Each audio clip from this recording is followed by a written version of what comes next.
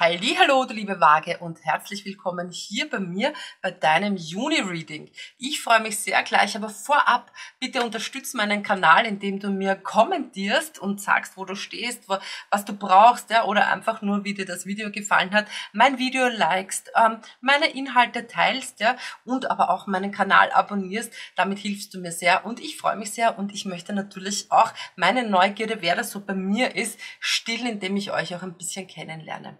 So, und jetzt schauen wir aber hier zu dem Reading, zu dir. Was ist so in der Juni-Energie los? Ich habe das Gefühl, im Moment war einiges los, auch im Kollektiv, jetzt nicht nur bei dir, liebe Waage, sondern grundsätzlich gesehen. Und da geht es jetzt wirklich da ganz stark darum, wieder in den Fluss zu gehen. Und das, was ich hier bei dir sehe, es war jetzt ein bisschen durcheinander. Es kann sein, dass die Kamera dazwischen ausgeht. Die spinnt gerade ein bisschen. Ich hoffe nicht. Ansonsten stelle ich dir dann ein Bild hinein, das einfach dann glatt durchgeht. Ja, also wunder dich nicht, wenn du dann meine Hände nicht mehr gestikulieren siehst. Ähm, hier geht es wirklich darum, jetzt etwas wieder in den Fluss zu bringen. Und da stehst du jetzt im Moment ja, in, in einer Prüfungssituation. Grundsätzlich darfst du dich freuen. Ja? Etwas Neues, ein, etwas ganz Schönes wartet auf dich. Es geht auch darum, Ängste zu überwinden. Ja? Eine wundervolle Überraschung wartet hier auf dich und will hier wirklich ja, in Anspruch genommen werden. Sagen wir es jetzt einfach einmal so. Ja? Und mit dem Mond sehen wir hier deine tiefsten Gefühle, deine tiefsten Wünsche, das, was du wirklich, ähm, wo du dich hingeben willst, ja? das, was du wirklich empfangen willst, das, wonach deine Seele wirklich ruft, empfange das. Und warum ist es der Mond, warum ist es die Nacht? Ja, geh da wirklich in dich hinein, geh da wirklich in die Ruhe hinein und trau dich, dich selbst hier zu empfangen. Ja? Trau dich, dieses wunderschöne Geschenk auch auf dieser Welt zu sein. Ja, genau darum geht's. So, das ist jetzt das, was ich gemeint habe. Moment. Ja, ich werde dann ein Foto machen und das einfach reinstellen. So, also dich als Geschenk zu empfangen und gleichzeitig aber auch deine Arme zu öffnen, um endlich Geschenke zu empfangen. Und warum ist dieses Wort endlich drinnen? Weil ich irgendwie das Gefühl habe, es ist zwar schon viel passiert in deinem Leben, aber irgendwie habe ich das Gefühl, so in der Energie kann ich es gerade nicht greifen. Ja? Und das, was hier hinzukommen will, ist, verlasse die gewohnten Kreise und schaue dich nach wahren Gefährten um. Ja? Vielleicht hast du wirklich viel gegeben, die ganze Zeit viel gegeben und das, was du eigentlich gesucht hast oder das, was du gebraucht hättest oder das, was du dir gewünscht hättest von ganzem Herzen, hast du vielleicht nicht bekommen und warst jetzt vielleicht in einer Situation, wo du in anderen Momenten vielleicht gar nicht mehr dieses erfüllende Dankbarsein hast mehr fühlen können. In manchen Momenten, nicht in allen, ja, weil irgendwo so eine Belastung, eine Schwere, irgendwie ein Mangel drinnen war, ja, und zum Teil auch so ein bisschen eine Blockade. Aber das Schöne ist, es geht jetzt raus, weil die Mäuschen fressen diesen Berg halt einfach auf, ja, und sagen, diese Hürde, diese, diese Herausforderung, die jetzt da war, diesen Shift zu machen, da helfen wir dir. Wir gehen mit dir durch die Katakomben und schauen mit dir, was hat dir da Angst gemacht? Was hat an dir genagt? Was hat dein Energiesystem durcheinander gebracht? Und durch diese Entscheidung, dass du wieder für dich schaust und sagst, hey, Moment, ich habe verdient, ich selbst zu sein. Ich habe verdient, wunderbare Geschenke zu empfangen. Ich habe verdient, angenommen zu sein, wertgeschätzt zu sein, gesehen zu werden, ja, im Geben und Nehmen im Fluss zu haben, was auch immer, ja. Ähm, ich bin es wert und ich glaube an mich und mein erfülltes Leben. Und mit dem tatsächlich kommt diese Entscheidung und diese Ängste oder diese nagenden Gefilde gehen raus. Was ist das, was hinzuströmt jetzt für dich?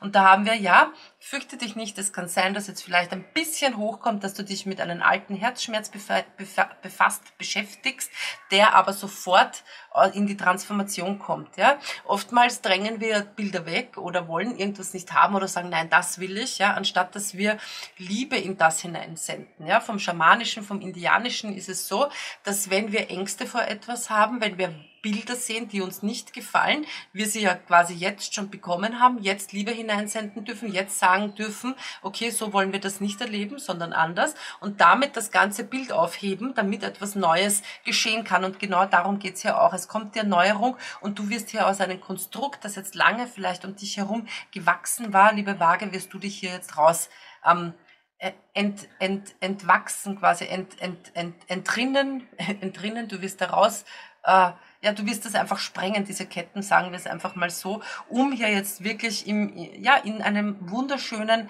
Ballast für dich. Das ist kein, also offen, ja, Natur, Park, ja, mit Engeln, mit, mit Strauß, ähm, was ist denn das, ein Pfau, ein weißer Pfau ähm, mit, mit Friedenstauben, mit einem Wasser, mit einem Flussüberfluss, ja, was auch immer das für dich ist. Du kommst in den Genuss und lässt jetzt einfach ein altes Konstrukt quasi sein, ja. Lass dich darauf ein. Es ist ein Prozess, eine Transformation, die jetzt für dich stattfindet, ja. Weil was geht raus? Dieses ewige Suchen, ja. Warum sind so Spiegeln? Warum, warum war der Fokus vielleicht auch auf diese Arbeit an sich selbst oder an den Spiegeln gerichtet oder immer wieder die Suche nach echter Verbundenheit, nach Harmonie Harmonie, nach äh, Erfüllung, nach, was ist das für ein Wort jetzt da, was ich da spüre? Etwas, was dein Herz so richtig berühren will und, und warm werden lässt. Ja, so eine schöne, wirklich wunderschöne Verbindung, um die es geht. Und da war eine Suche drinnen und vielleicht auch der Fokus auf alten Verletzungen unabsichtlich. Ich glaube nämlich nicht, dass dein Fokus falsch gestrickt war, aber ein innerer Anteil. Ne? Wir manifestieren ja oft aus unserem Unterbewusstsein oder das meiste aus unserem Unterbewusstsein heraus. Und da war eben noch nicht der Fokus klar umgelegt, weil einfach diese starke Sehnsucht, so wie ich das da wahr bekomme, nach so einer unendlich schönen Verbindung. Ja? Das muss jetzt nicht unbedingt Partnerschaft sein, kann aber, ja. Nach diesem Angenommensein, dieser Wertschöpfung, sage ich jetzt einfach einmal, ja. Dieses ich bin angekommen sein. Das war noch nicht äh, zur Fülle da, kommt aber jetzt, weil dieser Fokus wird klar und das finde ich wunder, wunder, wunder, wunderschön. Wir haben auch hier die Klarheit darüber, dass du bestimmst. Ja? Und wenn du dich nach deinen Träumen besinnst, wenn du dieses verborgene Wissen nach oben holst, was willst du wirklich und dich nicht zufrieden gibst mit, mit Dingen, die dir eigentlich gar nicht selbst entsprechen, ja? wo du immer wieder dann nach Klarheit suchst, ja, die Schattenseite hier von dem Fokus quasi, die kämpfende, der kämpfende Fokus noch, ja, ähm, dass du hier wirklich eintauchen kannst für dich in dieses verborgene Wissen, in diese Fülle. Wunder, wunder, wunderschön. Was ist jetzt im, im Unterbewussten, was ist da jetzt noch im verborgenen Pfad der Hohepriesterin? Und da heißt Licht und Schatten, aber auf der Lichtseite mit dem Kind, mit diesem Neuanfang, ja, mit dem Kind, was durch seine Unschuld, durch seine Reinheit, durch seine Verspieltheit, durch seine ähm, Unachtsamkeit, aber jetzt nicht im Negativen, sondern weil es halt nicht die ganze Zeit nachdenken muss jetzt so, ja, ähm, gewinnt, weil es einfach nicht zu vorsichtig ist, ja, oder zu viel plant, sondern einfach einmal drauf loslegt und und sagt, hey Welt, ich, ich bin da, ja, ich, ich will jetzt was erleben. Und dieses unschuldige, verspielte Wesen, das darfst du wieder ah, in dir heben, denn du hast jetzt, und das sagt hier die lichtvolle Seite der Hohepriesterin, ganz klar den Schlüssel in der Hand und schaust jetzt an, was dich hier verletzt hat, was dir hier immer wieder ähm, vorgegaukelt hat, dass du noch Masken aufziehen musst, dass du dir Gedanken machen musst, dass du wo festhalten musst, was gar nicht richtig für dich ist. Und da gibst du jetzt das Cut rein mit dem Schlüssel, wo du erkennst, was für dich jetzt wirklich fließt, was für dich jetzt wirklich gut ist zum Aufmachen und dir vertrauen.